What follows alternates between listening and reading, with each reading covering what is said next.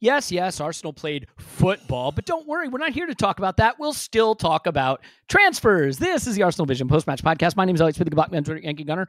Um, so I am in the undisclosed location, but I'll give you a hint. It's gray and raining all the time. Does that give you a hint? If you're watching the video, you can see the gray raininess out of the window. Um, if you're not watching the video, you'll just have to imagine what gray and rainy looks like. And when I checked into my hotel, the woman said, "I'm sorry, it's it's quite cold." And I said, "This is spring weather where I come from, lady. So I am thrilled to be here, and there will be more soon on why I am where I am at. But hopefully, my sound will be okay. Hopefully, this episode will be okay. I want to be clear with you. I know Arsenal played a match. I know they won that match. I know that this is called the Arsenal Vision Post Match Podcast. It shouldn't be called that anymore, anyway. We are here to talk about transfers. And the reason we're going to start with that is because I know what's going to happen. We're going to put this stupid podcast out and they're going to announce Mudryk 10 minutes later. Well, we're not going to let that happen. We're just going to talk about it anyway. And then, of course, we will talk about the FA Cup victory, the date we've booked at the Etihad with Man City, and of course, the North London Derby on the horizon. Here to talk about all that with me now is Clive. You can find him on Twitter, Clive PFC. Hello, Clive. Hello, hello. How, so, uh, how are you enjoying the sunny Yeah. UK? I mean, you don't understand, mate. There's not six feet of snow out, and it doesn't have a minus sign in front of the weather, the temperature. So I'm I'm delighted. I'm always happy to be here, to be honest, and and I am quite jet lagged. I literally landed about 45 minutes to an hour ago. So uh, yeah, bear with me. It, I have an excuse for my takes being bad today, is is what I'm going to say. Um, I, I did hear the instant reaction. I thought you and Paul did a brilliant job. Um, I'm I'm excited to talk about the game. Arsenal did win three 0 in the end. Maybe made tough sledding of it in the first half, easy work in the second half. We'll cover that. But let's start with some transfer news. As I said, both for the hashtag clicks and to cut off Arsenal from doing what you know they're going to do to us, which is announce something right after we put the episode out. Let's start with the Felix thing, though. I wanted João Felix. I've been pretty clear. I think that he has the kind of talent that maybe just maybe puts you over the line for a title this season, and that's worth pretty much anything. Um, and he doesn't disrupt the hashtag project because he's only on loan, right? So if you don't want him, you don't want him. He's going to go to Chelsea. And the crazy thing about that move, Clive, is they're going to pay the massive loan fee. They're going to pay the massive wages. They have no option to buy. Simeone's announced he's leaving at the end of the season. So the new manager may decide he wants to keep him. And all of this to what? Nab a Europa League spot? So I have to admit, I'm a little disappointed. I thought he fit more of what we would need than what they would need. I know this maybe never had the feeling of real realism to it because of the the prices being mooted for a loan. But what's your take on that move? I find it incredibly bizarre. Boehly just firing the money cannon in all directions. Yeah, Chelsea are all over the place. And I think they've got about, you talk about our project, they've got about eight projects going on at the same time. And um, they're buying all these young players, they're overpaying for them.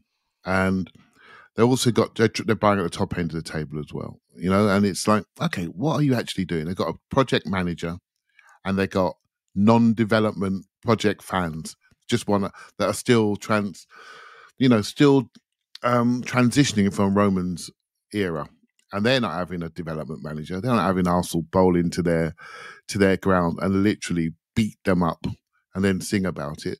They're not having Man City do that to them as well. They were literally about 20 months ago, they were the champions of Europe and world club champions thereafter. So this is a big transition for them.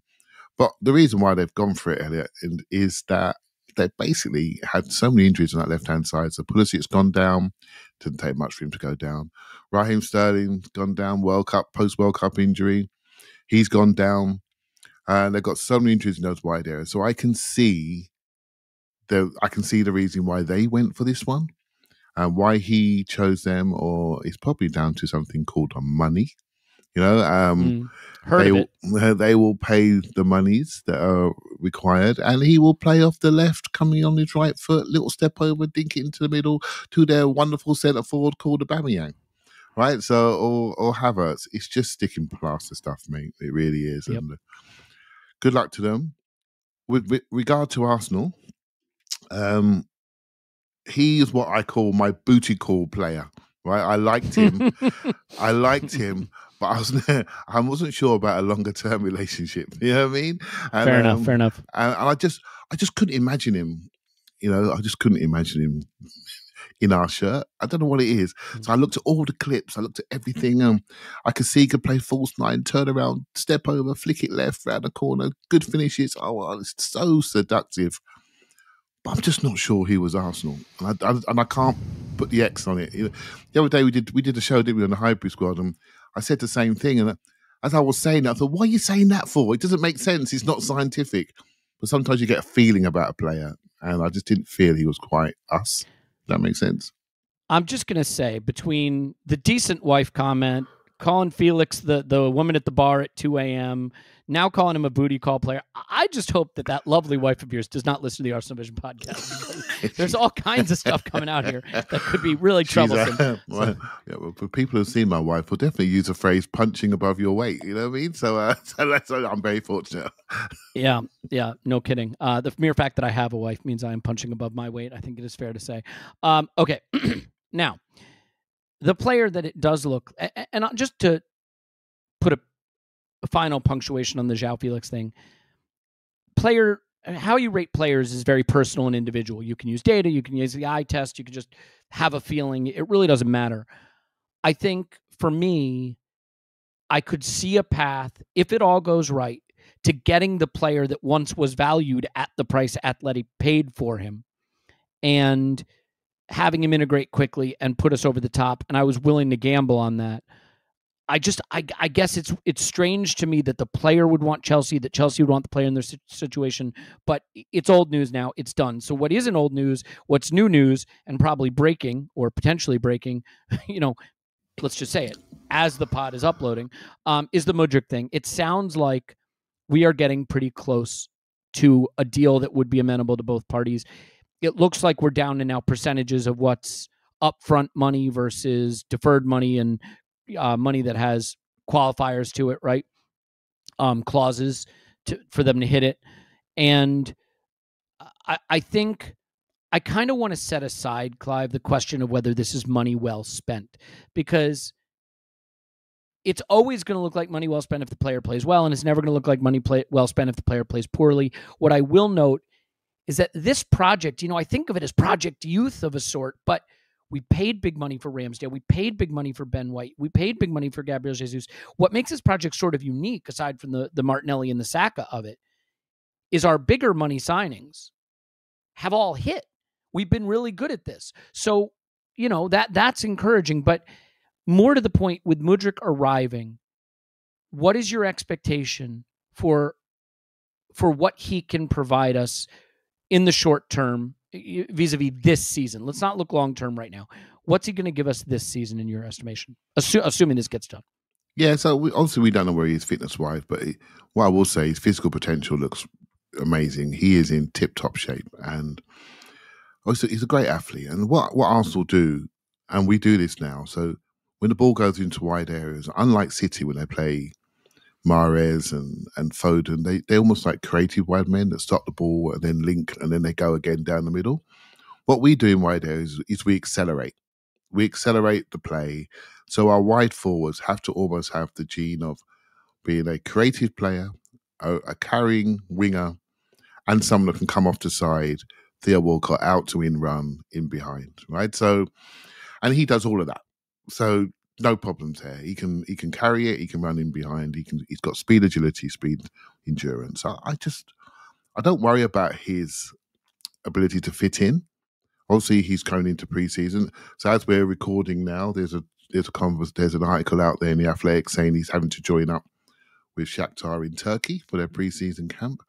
Which probably means Elliot nothing's going to break in the next 25 minutes, right? So, um, but it shows. All right, let's stop recording. We'll, we'll just talk FA Cup. I'll, I'll delete that. No, you know so, what? You know what? Forget it. Just so keep going. This is I'll gold. Seriously. So, so, I think I think um, well, you don't, you don't know, right? One tweet changes everything, doesn't it? Right. So um, mm. so, but I do, I do think my only worry is is just the price.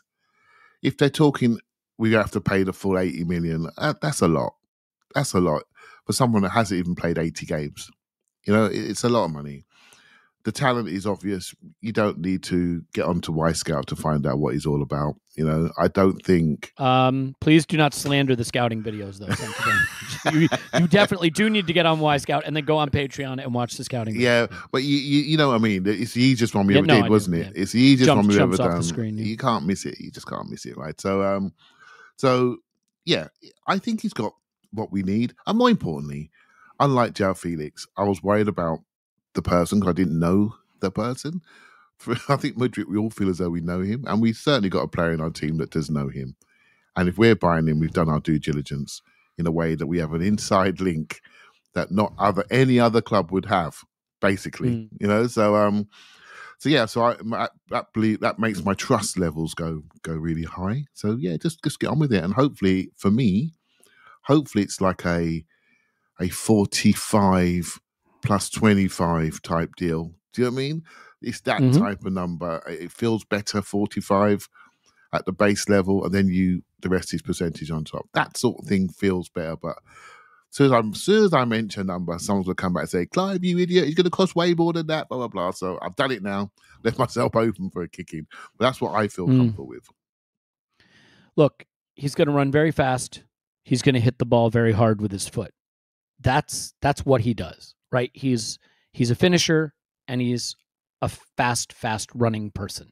Um, I think there are parts of his game that need to be cleaned up. I think that there are there's a technical level question there. Um, I think his technical level's higher. Yeah, I think.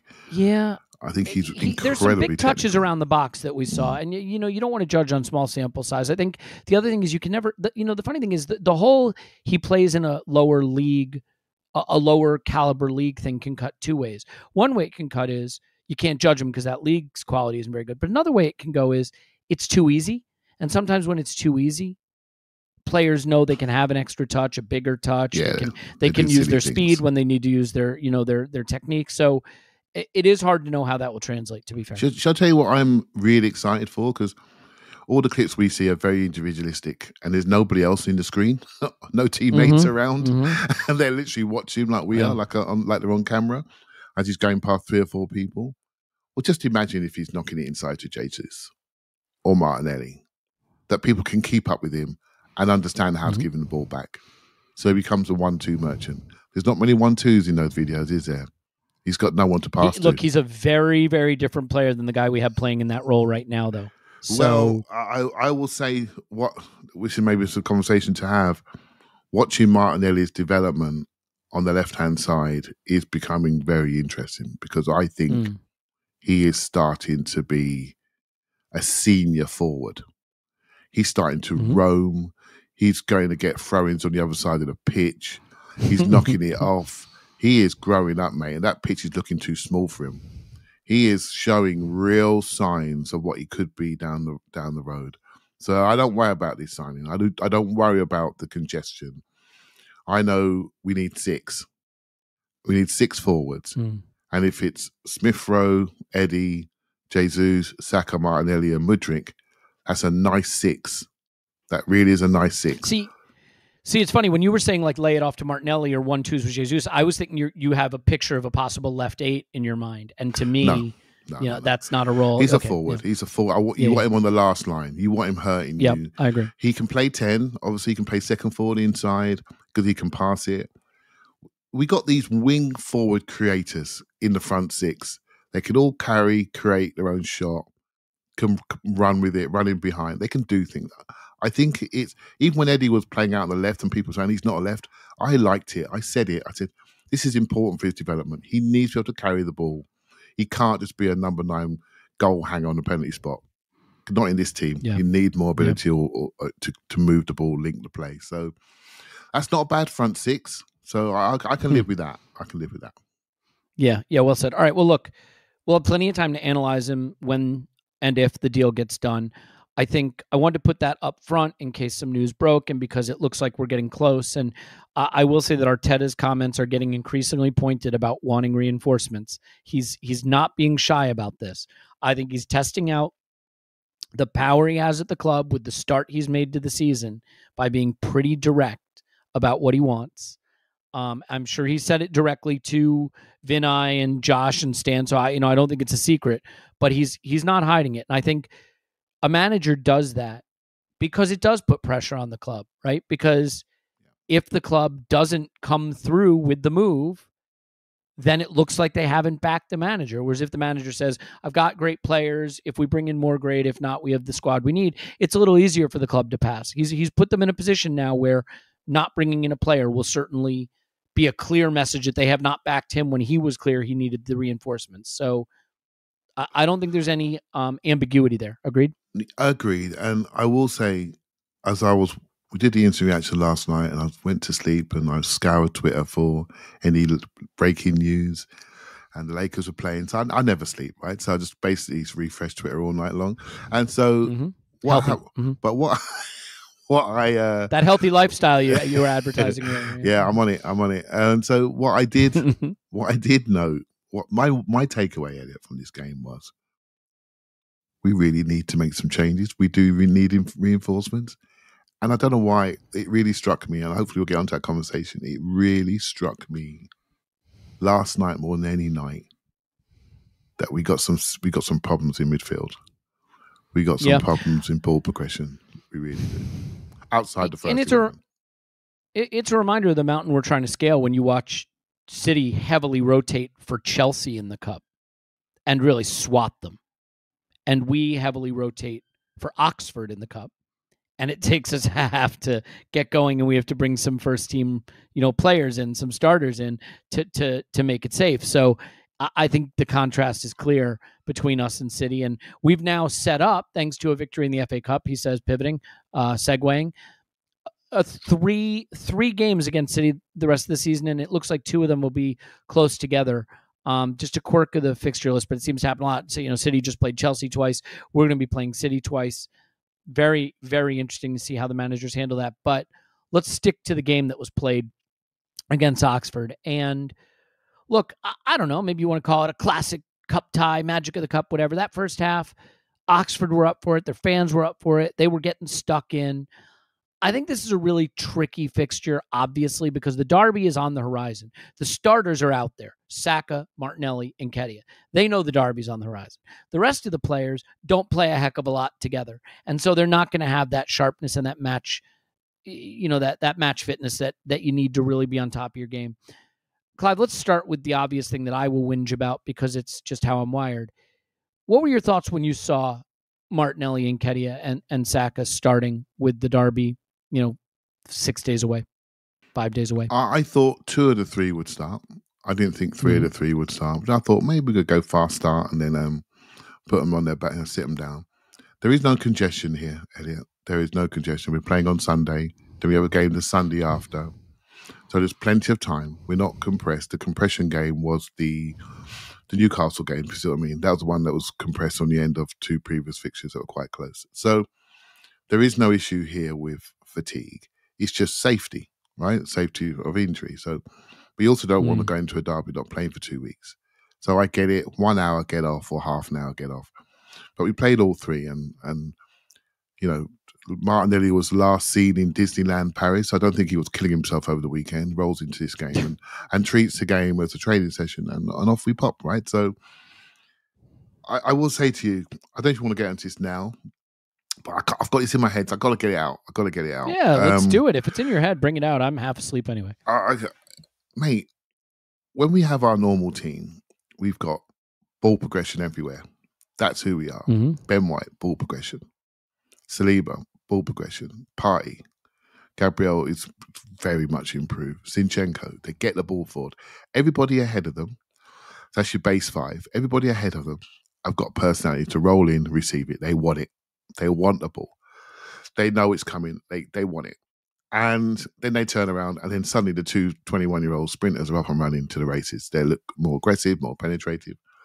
So let's not pretend it's a jogging game. They jog through the game. They're playing an average team. It's only three sides to the ground, for God's sake. It's a car park at one end. Let's not pretend they're going to give us everything that we normally see from them because mm. mentally they're just going to go through the motions.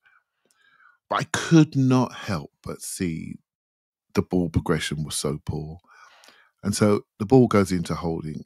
he clipped the ball down the line, doesn't want to do it, pops it back to Gabriel, who's the only one brave enough to clip it.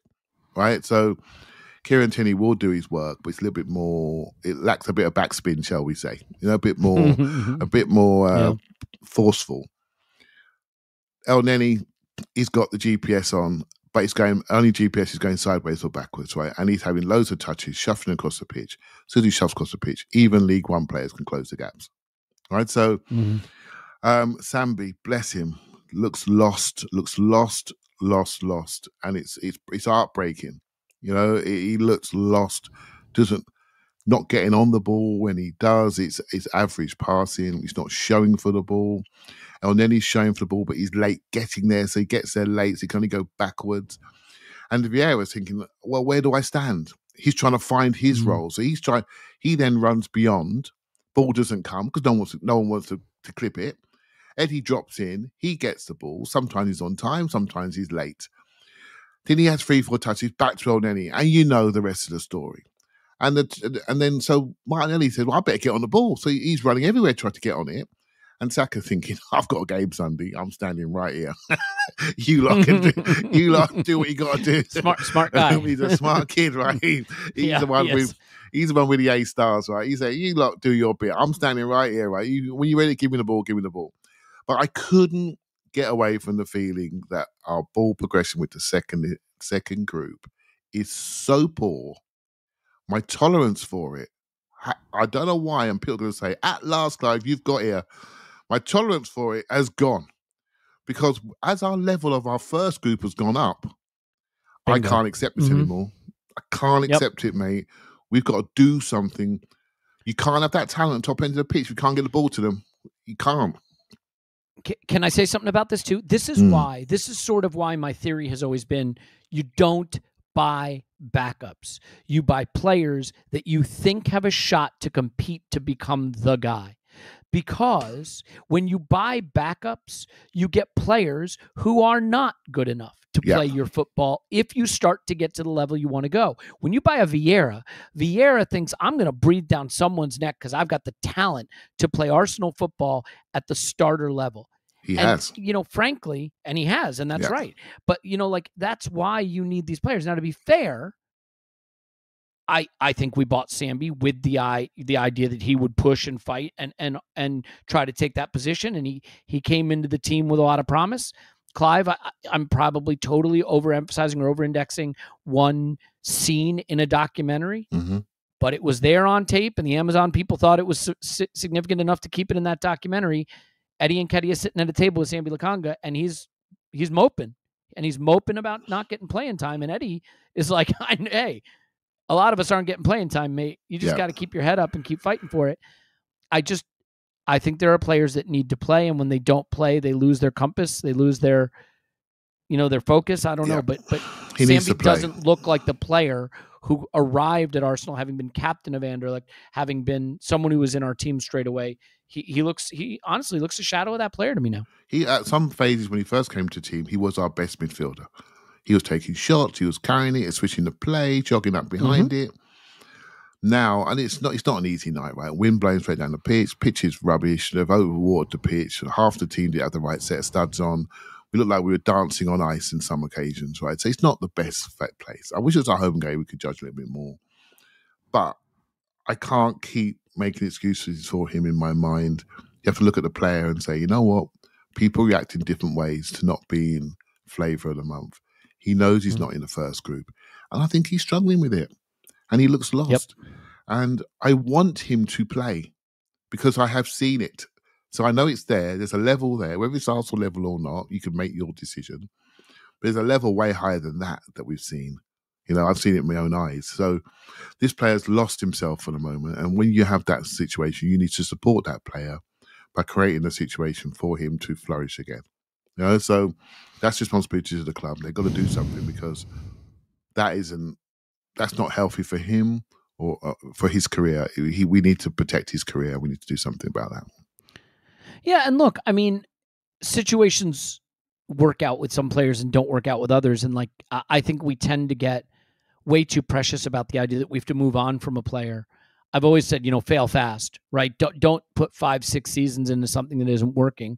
Um, I, I, don't think the player's future is with us, and I, that doesn't mean I don't think he has a bright future. But to your point, the level has gone up, and we need players on that bench on Sundays and oh, you know soon Saturdays and Wednesdays and Tuesdays, or starting who can maintain the level. And I, I think one thing that was interesting about this game, I think in the first half, I think you saw where Eddie Nketiah can struggle a bit because not having an Odegaard and not having a Xhaka and not having a Partey and not having a Zinchenko, I think I noticed th- his inability to play the Jesus role.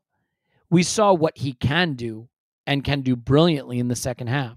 And especially when you have a Zinchenko back on the pitch, right? When you have a Ben White come in, when you have some of these other players around him who who can support the play a little bit better.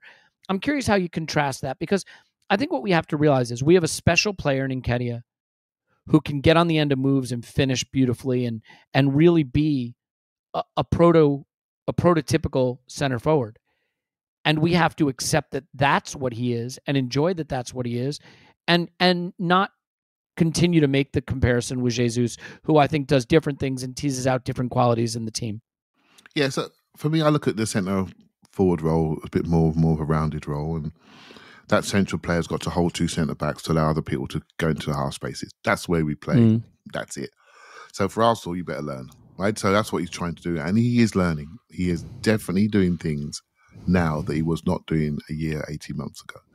So fair play to him. We have other players in our books like Sambi, like Pepe, by the way, who have not learned a damn thing and have not improved and mm. have not changed themselves in the gym. Have you know we've got a forward situation problem at the moment, and no one's asking for Pepe to come back. I've said that before, right? So why is that?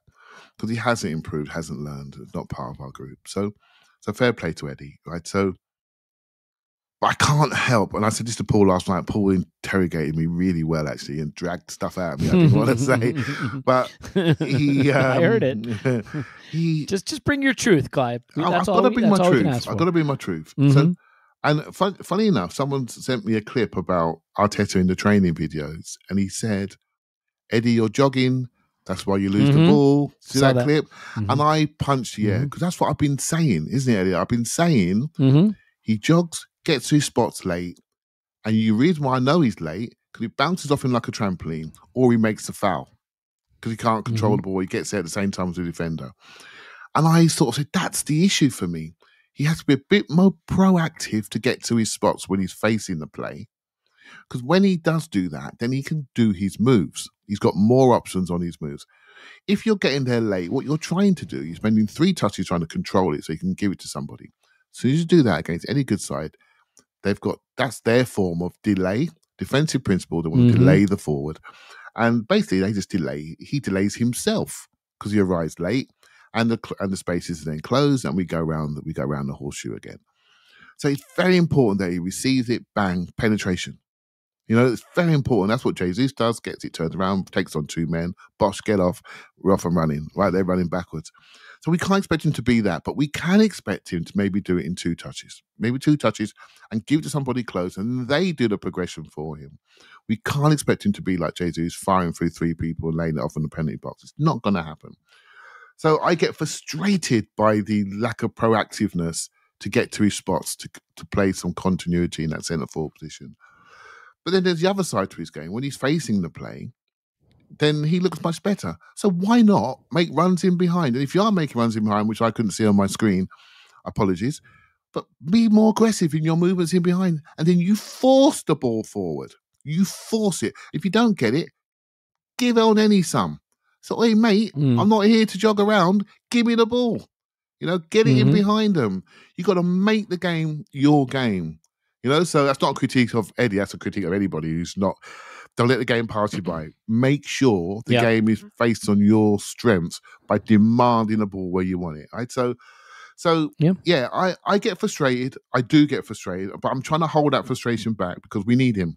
We absolutely need him he's he scored two lovely goals here, easy for him. Like mm-hmm. let's praise job. the finishes. I mean, those are yeah. that's just what he does. He's he's cool in those situations. Yeah, and I I do wonder like because I know you know you, you, got frustrated with him. I think it was at the header at the back post against Everton last season, yeah, right? You know, there, there, have been moments, big moments that have that have passed him by, but I, I see a player who's definitely developing in terms of what he does with his final, you know, his final moment in, in the penalty he's, he's box. a much that is, more that is still the most player. important thing in football, Clive. Yeah, you know, he's much more of an all-round player than he was.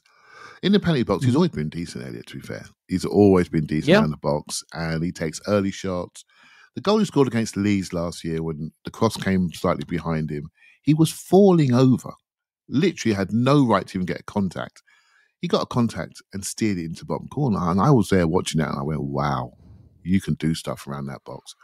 What I'm waiting for is a first goal in a big game.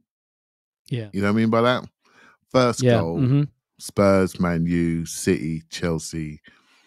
Big game. The game does look a lot easier to him when we have a lead, right? Yeah. He, he he's scored a, a, second goal recently, a third goal recently. This yeah. was a second and a third goal, right? Like, so I take your point. And, and by the way, those goals still count and they still matter. They still but matter. I, I, take your point. Score that, score that first goal that breaks the game open. Right, and that's normally Saka or that does that for us, you know, mm-hmm. or Odegaard that does that mm-hmm. for us.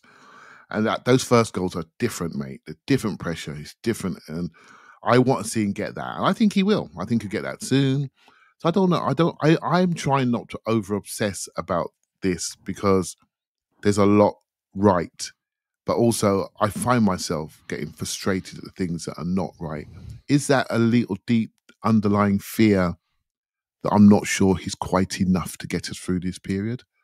And maybe mm. with a signing, that fear would go down, and I'd, and I'd take my eye off him a little bit more. You know, so I'm trying to be really fair in, in this assessment. To be honest, I'll say this: he seems like a great guy. He chose to stay at Arsenal and fight for his Arsenal career as an academy player. He he could have gone off. You know, some club would have paid him. I don't know if they would have paid him 100 grand a week to be fair. So maybe he took the best deal on offer, but he stayed at the club when he knew there wasn't a straight line path to playing time his chances come.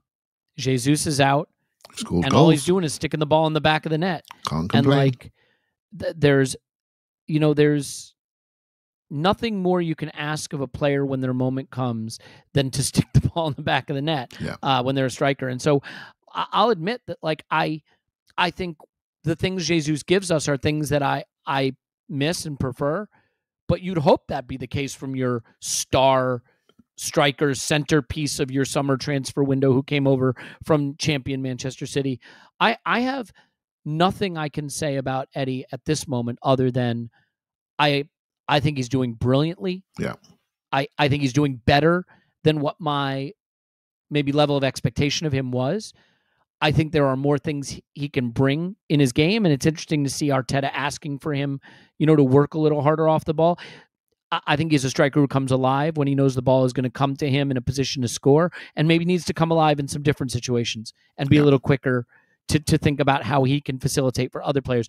I, I, looked at um some data of his, and you know, for a small, it may still be a small sample size, but the guy's goal scoring data is pretty unimpeachable. Yeah. Where he lags behind Jesus quite considerably is creation, yeah. right? Chance creation, shot creation, you know, playing the ball in the box for his teammates. And so that's the next piece. And even if it never comes, as long as he's doing this, I think he, he deserves a lot of credit, you know? Yeah, agreed, agreed. You can't. Okay, he's learning, mate. He's learning and he's developing, yeah. and so that's the that's all you can ask for. That's all you can ask for. I, I love both finishes, by the way, and I, you know, I think it, it is easy to dismiss goals in these kinds of games, but you still have to execute you know, you still have to execute. And Oxford yeah. were really up for it. Their fans were up for it. I, th- I thought it was great. I want to talk about Vieira, though. I think Fabio Vieira is a big story of this game. And there are a couple other players that I'm, I'm interested to talk about. And I want to make sure we start to discuss the Derby, but we have another pod this week to discuss the Derby. So I don't want to get into it too much. But you mentioned you are um, trying to engage in a healthier lifestyle, Clive. And I think all of us can take a page out of your book and shoot for a healthier lifestyle. And one way you can shoot for a healthier lifestyle is by taking AG1 from Athletic Greens. That's right. So I've got my travel packs with me here. AG1 uh, is a phenomenal, basically all in one nutritional supplement that can replace pills and gummies and vitamins. Um, it just goes in water. It tastes great, and then you're drinking water, which, by the way, is a great supplement. It's just water. You just just drink it. It's great for you. Um, this is for gut health, sustained energy, immune system support. Um, you know, I, I think for me, the gut health thing was a big part of it, and I know nobody wants to hear about my gut health any more than they want to hear about me talking about shaving privates. But it is, it is part of you know what I was looking for, plus the energy um thing because I I, I was having too much caffeine, which may have come through in the podcast. Uh, you may have noticed that. So yeah, I, I, absolutely love it. Um, it tastes great. It's easy to use. It replaces a whole shelf full of stuff that probably isn't delivering the benefits. It's keto, paleo, vegan, dairy free, you know, all that stuff. So it's it's really good. Seventy five high quality ingredients that give you um, key daily nutrients, daily nutrients. I think that's the word. I'm I'm jet lagged. Just pretend that's a word. And long term support. Okay, what are you going to do? Uh, if a free comprehensive solution is what you need from your supplement routine, then Athletic Greens is giving you a free one year supply of vitamin D and five free travel packs with your first purchase. Go to athleticgreens.com slash vision. That's athleticgreens.com slash vision. Check it out. Do it now. Clive, is that enough of that? Indeed. Nailed it. Those guys, I swear to God, free advertising every episode. Um, okay, so Fabio Vieira. Once he had some of his guys around him, boy, did he come to life. And I, I think, you know, Eddie had some beautiful finishes. Fabio Vieira had some beautiful deliveries. It's his free kick that leads to the opener. Uh, thanks to Elneny, by the way, who has a great song. I don't know if you've seen the video going around. Tim shared it with us in the WhatsApp. Um, it's Eddie song. I think yeah, it's Eddie, yeah, Eddie yeah. song. Yeah, I've seen that. Very good. Yeah, very uh, good. Is, is, the is the Eddie song? Yeah. yeah, yeah. Um, and then, well, anyway, uh, Fabio Vieira. I think there is talent in there that just needs to catch up with his development if that makes sense. Like he he impacts the game in moments and he just needs to i think come up with a complete performance right to do all the things that that role demands. But my goodness you could see a path to Odegaard on the right Vieira on the left that could be staggering in its yeah. output if this guy can put it all together. So so what's your thought on Vieira who I think aside from Eddie's beautiful finish, finishes, is a player who really caught the eye. And, and yeah. by the way, I should mention a player who really caught the eye, who we were all just grousing about like not a week ago for not coming on against Newcastle. Oh, his career's over and Arteta doesn't like him anymore. Like, you know, it, it just reminds you how how quickly things can change. And I think he made he made a really good impact in this game. Yeah. So pre-game there was an interview from Ian Wright with with uh, Arteta, and he mentioned Vieira. And soon as soon as he says his name, Arteta can't stop smiling. I think mm. he loves this player. So for people who don't I think, agree. I think he loves him. And and so I'm watching the game and I'm thinking, oh crikey, I'm I'm in this ball progression hole that I'm in because I'm watching I'm watching Rob Holding go from left to right. I'm watching this stuff. I go, oh, no, where's Odegaard? Because Odegaard will just he won't have that. He'll just come and get it, turn around, and we're off. And so in my mind, I was saying to Vieira now because we can't help but look at the two like we do with Eddie and Jesus, is Vieira and Odegaard. So I'm saying to myself, be more assertive, get on the ball, get more touches. And he's a, he's a bit different. He's a bit more mobile. He's a bit more. He'll run around you. He'll run around the person in possession. And I'm thinking, okay, you're not really getting on it, and no one's giving it to you. This is a problem. So we're just playing the game out. Crap first half, to be honest. And then the ball comes over to him on the left hand side of the pitch, and he just sort of half volleys a diagonal switch 50, 60 yard first time, bang, out to Xhaka, right onto Xhaka's toe. Saka's toe, mm. sorry. And I've Saka, got, yeah. yeah, I've got, oh, wow. Okay, so let's not pretend this kid isn't talented, right? He can put the ball where he likes when he wants to. And so just ignore it. It's all about how we're playing. So we become more direct, get the ball to him. The game stretches out. He's got pockets to fall into because Ed, Eddie and people are running in behind. He's in the space in the holes, turns around, gets it, 2 0, go home get on the bus. Right. So he's hmm. he is class. Now, I talked to people online, a few famous Tactico people. We have got our own little mail list, and some of those guys say that Odegaard should be the one that should drop into the left eight, and hmm. Vieira hmm. be the one that plays higher on the right, because his ability to score and assist is right up there. And you think about almost every game he plays, something happens, mate. He's even banging one in from 20 yards, or he's, he's creating goals you can't miss. His ability to assist is literally it's, it's on a silver platter. The goal mm. at hmm. Wolves for Odegaard Hel- helps when there's no VAR, by the way. yeah, yeah. one of my one of my favourite goals this year was the, the, touch at Wolves when he squared it for Odegaard. Oh my god, that just that just drew everyone yeah. to him, and it's just like a, it's just there. You can't miss. You know, I, I I've got I'm excited about this player. I'm not quite sure what he is yet, but mate, he can do it.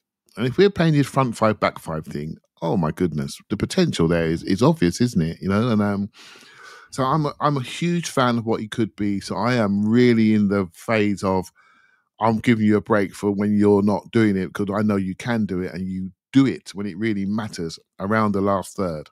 You deliver, you know. Mm. For those people who are unsure about him, relook at some of his Porto videos. Decision making, quality of delivery, quality of balls. You can't miss, mate. You literally can't miss. It's it's special what he does on delivery. It's, it's, you know when Ozil was in his height, you literally couldn't. Mm-hmm. You, you only had one decision to make to score. He was that good when yeah. he was at his height. This kid's got mm-hmm. a bit of that in his delivery in the last third. You can't miss it. You just got to do what's mm-hmm. what he's told you to do.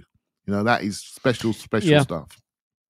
And the, and now I think he needs to add what Odegaard has had added, which is more consistent impact and staying involved in the game and really, you know, commanding the ball and, and and being involved and and I think also maturing as a player is about knowing that not every pass is going to be a through ball that splits the defense for a goal, right? That mm. that not every pass is a, a, party piece or a piece of outrageous skill. But to be fair, I thought when Sambi was in there, and I thought when you know Tomiyasu was in there, and Tierney was, the distances weren't great and you know i think he's a player who really thrives yeah. on those triangles right those yeah.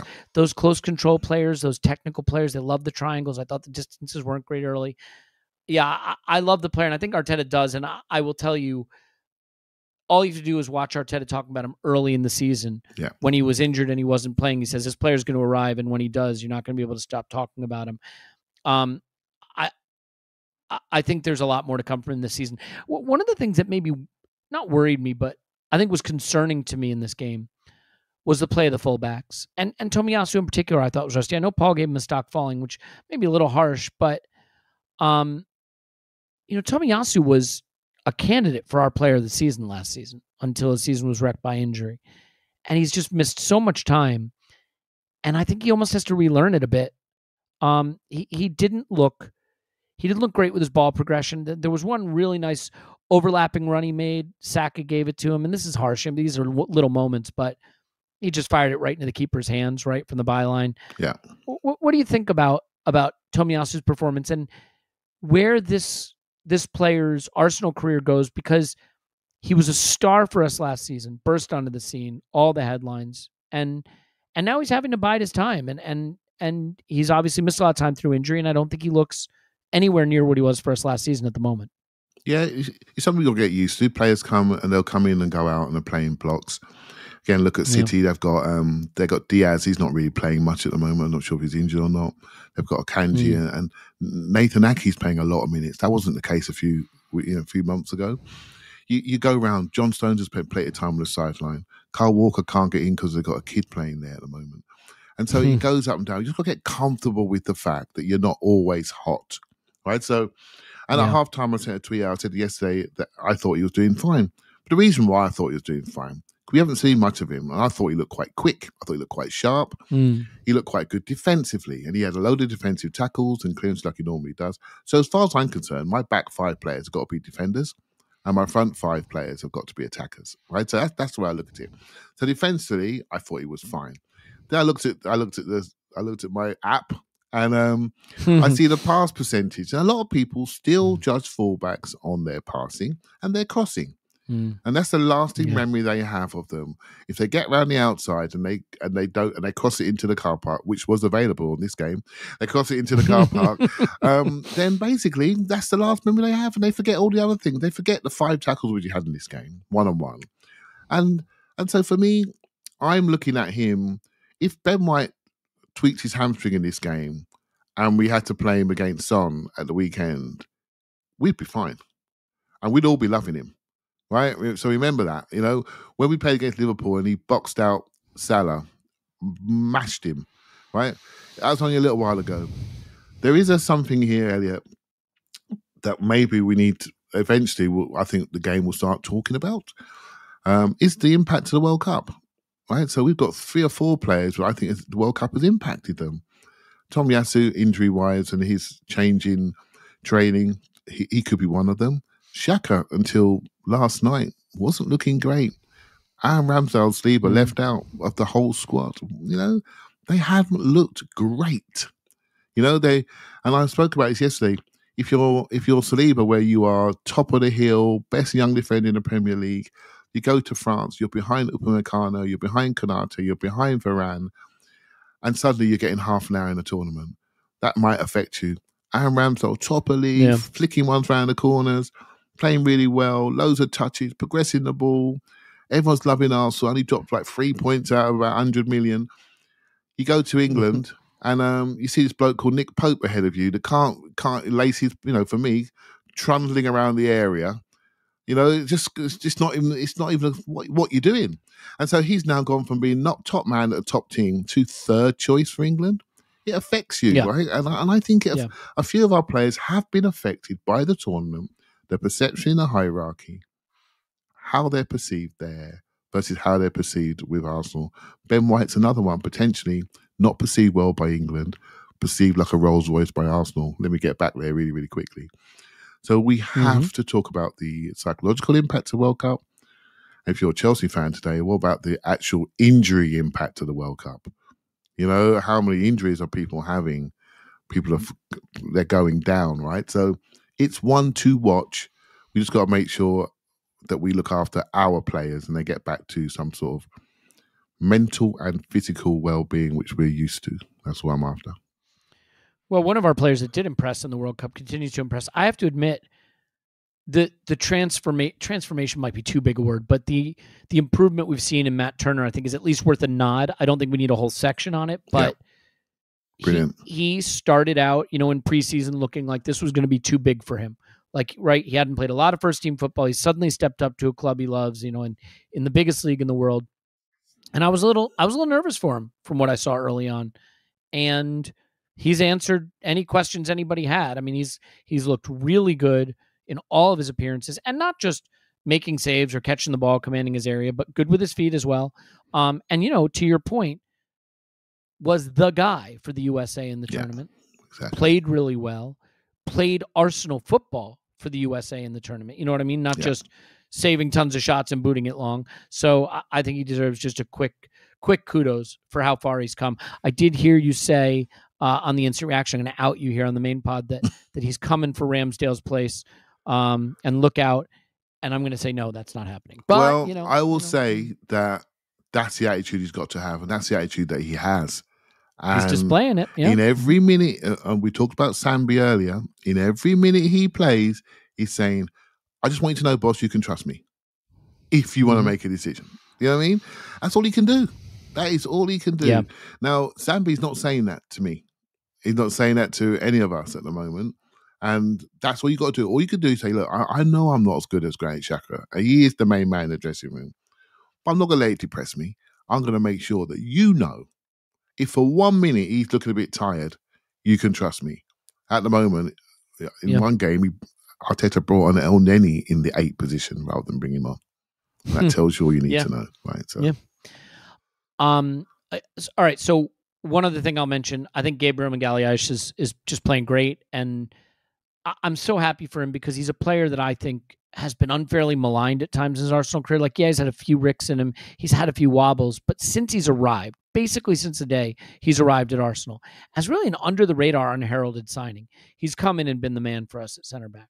Yeah. Um, and yes, Saliba stole some of the thunder early in the season, but a lot of the times when Saliba's made the one silly mistake he's gotten him, right? The one the one square ball that gets picked off or whatever it is, he's there making the, the last ditch save. He's there, you know, he's there making a block. He's there making a critical intervention. His passing numbers are great. They don't get nearly the credit they deserve.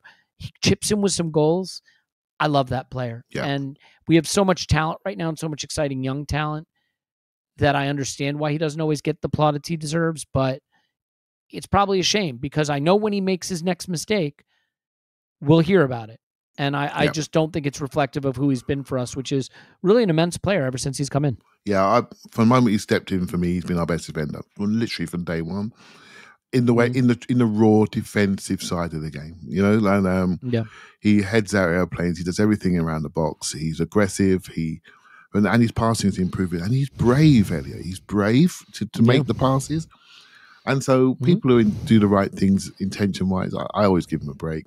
Um, again, w- there was a period in my recent Arsenal life for all of us as well when Koscielny played. We felt better when he was when he played, you know, but Mm-hmm. we we could never rest him, and eventually we broke him.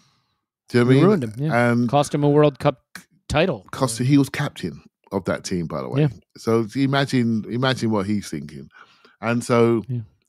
there are rumours about us getting left footed centre back. Maybe we got in the club was going to get promoted, who knows? But we need to make sure he doesn't play these games. You know, and Yeah. because we got to be fair to him. I think he's had 51 starts, some of that, in a row. Hmm. like that. I mean, I mm. can't imagine a team without him. And so, so we need we need that level of everybody needs to break him now and again. You know, we can't just assume he's going to play through everything and be brilliant all the time. It's one of the reasons why I think Tomiyasu's match fitness is important, by the way, because with all due respect to Rob Holding, who's you know a great guy, and actually Arteta speaks about his importance in the group, but I think you'd rather have Tomiyasu starting if he had to at center back than Holding in, in a meaningful game. So something to keep an eye on. We've kind of buried one of the lead stories though, Clive, which is Mhm. the return of Emile Smith Rowe. Oh, Um, I'm so glad you remembered. you know, and like I, I've kind of saved it for last because I don't, I don't, almost don't want to overdo it. I, almost don't want to put too much pressure on this poor kid's body as just making it back. There's been a long road back. He looked fit. He looked uh, muscly. You know, he he looked, looked filled big. out. Um, Yeah. yeah. And now that can be a bad thing. You know, we've seen we saw Jack Wilshere come back from a long injury spell, big, No. and that didn't that didn't work for his for his game. But what did you think? I mean, it's it's not much to go on, and it's against Oxford, and it's in a game that was won. But it's just brilliant to have him back. He's a player we're going to need. You know, Yeah. So when you, you know, sometimes you look down on the screen and you go, okay, I'm not sure about you, mate. I'm not sure about you. Smith mm. Rowe came on, and I'm not sure he even played a decent pass.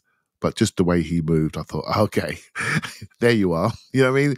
You're you're there. You he looked like a man. He looked strong. He looked, you know, he he still got that give me the ball gene. He's just a player, mate, and um, I can't wait to have him back. I think this is really important because I've been talking about two signings, and the reason why because I didn't wasn't sure about where he was. So these nights are so instructive. So I've walked away with real concerns about ball progression in midfield, and really the drop off is too big. It's too big, you know, and we've got too much talent we have to get the ball to. And I'm now thinking if Smith Rowe's back, we just need one signing because we have our six, because that player Mm. can play, you know, and if he can give us 20 minutes in games, we're we're fine. You know, we've got the ability to to manage to, to run in towards the end of the season. So huge night for him. Hopefully there's no reactions from him today.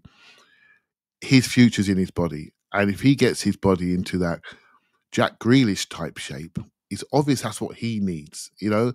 But the difference between him and Yeah. Jack Wilshere is he's six foot and he's strong. He's got he, he's he's much more athletic across the ground. He bounces off the floor. He he can Yeah. drive with it at real speed.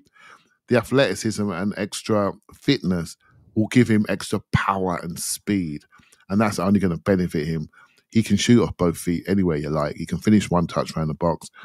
He's a really, really interesting footballer for us, and one that maybe I've not say forgotten because I've been, we've all been secretly hoping he's going to come back, but I don't think we remember quite how good he was. There were games last year that he was basically winning with his goals, and we've just not had that for a long time. So huge night for him, and huge night for us in the next half of the season.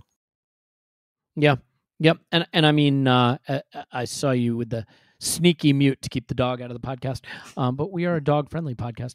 Um, look, we got a couple of things that I think are really good out of this game, which is we get Eddie Nketiah continuing his hot scoring run going into the derby. We get Fabio Vieira feeling confident so that when we go into the derby and we look on the bench, what little we have, we may be willing to call on. That hasn't been the case. If we need to call on him, I think the manager will feel a little better calling on him coming from this game. We got some minutes into legs, into Tomiyasu's legs, into Emile Smith Rowe's legs, critically, right? We got some minutes out of legs, and I think it is very instructive who we rested.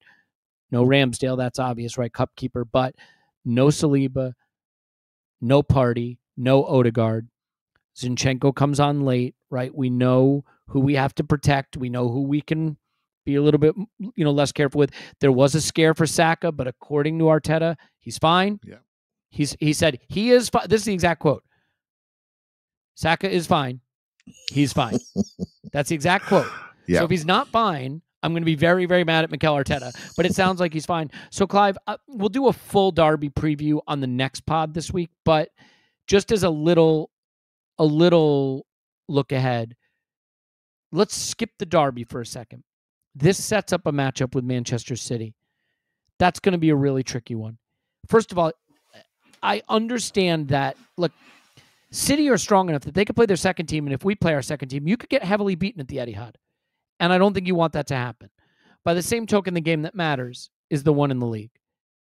We know Mikel Arteta; he's going to go for all of it, or try to go for all of it. No, oh, by the way, there's going to be Europa League coming up around that time. So, how do you how do you see that playing out? Because I look, you can't lose to Oxford. It's an embarrassment you need to avoid, and we avoided it. But having lost to Oxford would have spared us having to figure out what the heck to do with back to back city city games. So what what do you think about that impending uh, challenge that we have facing us? and that's why the um, the Smith Rowe thing is is important. And and I Mm. could I could all, what I'll say, is I think we'll make we made seven changes last night. We might make five. Do you know what I mean? And and Mm-hmm. there are players like Saliba, Partey will be around. Do you know what I mean? To make sure that the game is is managed appropriately. So I I'm not worried about it. What I am worried about is the three we have three games versus City this season. And for me, it's, it's not always a result. It's the emotional drain that can sometimes have on you. You know, if it goes wrong, but if it goes right, you've you've really got a chance. You know, you've got a chance to really Yeah. show people that you've arrived. So I would look at. I'm trying to be a bit bit more positive about it. Um, I watched a City in the Chelsea game in the first game, and I thought they were okay. They eventually got there. They're a good side, right? They're, they're a good side, but we are the sort of side that has the personality to play them, and to personality to get on the ball, and to make them run around and run backwards.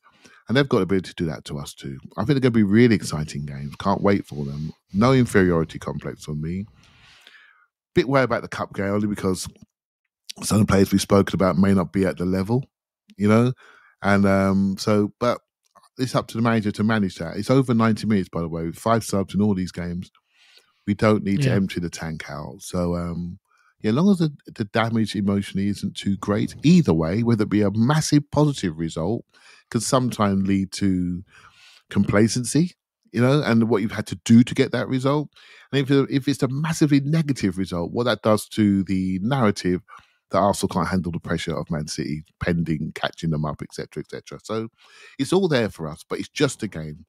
Spurs is the most important one, mate. That we go there in tip-top shape, ready to take them, Y- ready to take them. You know what's weird? We play Spurs and United. City play United and Spurs. Yeah. And like the the calculus around what these outcomes could mean is is pretty interesting, right? Because Mm. you win both and City drop points, you're a big favorite in the title. City win both, you drop points, the title may be over, but your season still looks good. City drop points and we drop points, and suddenly United and Spurs are. I mean, maybe not Spurs, but United are right there. Yeah. And now it's United and Newcastle and Arsenal and City. So it is an interesting moment we face. Um, uh, you know, because there's more on the line in a way than just where we are versus City. There's obviously beating our hated rival. There's keeping United far enough back in the rear view that we don't have to think about them. Right? There's a, there's a lot at play in in the, in the next fortnight uh, for for City and Arsenal and United and Spurs. Yeah, um, you know, we're, we're moaning about, well, I'm moaning about our lack of ball progression last night, and we've got four players we could add straight into our, in Saliba, Mm. Party, Odegaard, and Xhaka, and then Zinchenko. White, Yeah, White, White, which fixes that Zinchenko, problem mhm. immediately, Mhm. right? And um, so everything starts to move. It's just the the next group just needs to sharpen up on that, and um, and and maybe there's a debate, mate. There is a debate. Do we need a signing to help fix that? Do we, Elneny's been looked at by Aston Villa? Sambi, does he need to go on loan? Um, do we need a signing? And that's not something I would have said a month ago, but I'm starting to think about it differently because Not a lot it's of noise around it. There's not a lot of noise, and maybe this is what we have. Mhm. But yeah, it's a big drop off yesterday when it came to that. Well, and I'll say this: this is why, you know, people are like, "Oh, don't be an accountant. If Mudryk's eighty million, who cares? Just buy him." This is why you have to care, right? Because Mm. if Mudrik was thirty-five million, maybe there's also a midfielder on the agenda this January. But if Arteta says, "I, I want to spend eighty million on Mudryk," KSE might be saying, "Well, that's what you get in January. Then that that's what we're going to go to. We're not going to do eighty million plus forty on a midfielder, right?" And and you could say, "Well, then they're too tight, or they're not pushing the boat." I, I mean, that's not my debate. My point is more about opportunity cost, which is the reason you kind of have to care about price is because what you spend on one player may have ramifications for what you can do on other players. Yeah. Um, and I think everybody would acknowledge that really, really what Arsenal needs, maybe not in January, but what we need are two forwards and a midfielder. That's what we need. Yes. two forwards and a midfielder Yeah. at a minimum to to really be in the position we want to be in. But if you're going 80 million for Mudryk, I'm going to tell you right now, I think you're just getting Mudryk. So Yeah. it is what it is. I, I I think we're in a good position. Obviously, our our first team is our first 11 anyway, or 12 is really really good, and we go into the derby. I think in good shape. Um, and look, uh, I know it's so cliche to say form goes out the window in Derby. I think if the referees don't decide this one, there's no question that our football is going to beat their football. Yeah. But they play counterattack and we're vulnerable to those long straight balls. So it's it's going to be We're an less vulnerable than last style. year. We'll see. We're you less know? vulnerable than last year. And I will say it again: our midfield all got a rest, and they're going to be I'll ready. say this, Clive. We're less vulnerable than last year if Saliba's in the form we kind of have come to expect.